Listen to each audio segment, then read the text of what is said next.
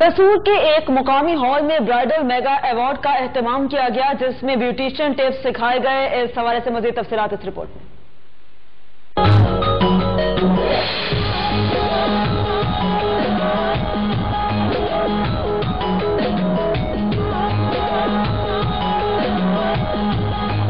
قصور ایک مقامی حال میں ایکسلنٹ بیوٹیشن ویلفیئر آرگنائزیشن کے زیر اہتمام۔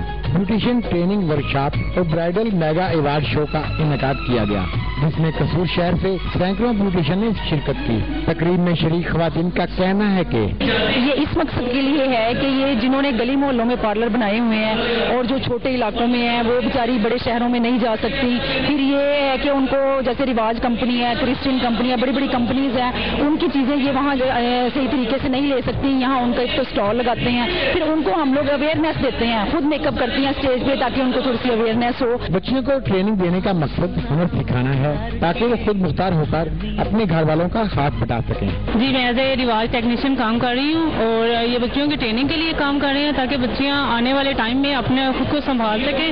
آج کل کا جو بہت مہنگائی کا دور ہے اس کو مینج کر سکے اور اپنی فیملی کے ساتھ بہت اچھے طریقے سے چل سکے یہ جو مطلب کہ جو بچیاں نہیں اپنے پاؤں پہ کھڑی ہو سکتی ہے ان کے لیے اچھا ہے بہت زبردست ہے۔ ایکچولی یہ عورتوں کے لیے پروگرام کیا گیا ہے۔ عبدالستار صاحب نے اس سلسلے میں بہت اچھا کام کیا ہے کہ عورتوں کو گھر کی چار دیواری کے اندر باعزہ طریقے سے روٹی کمانے کے قابل کیا ہوا ہے۔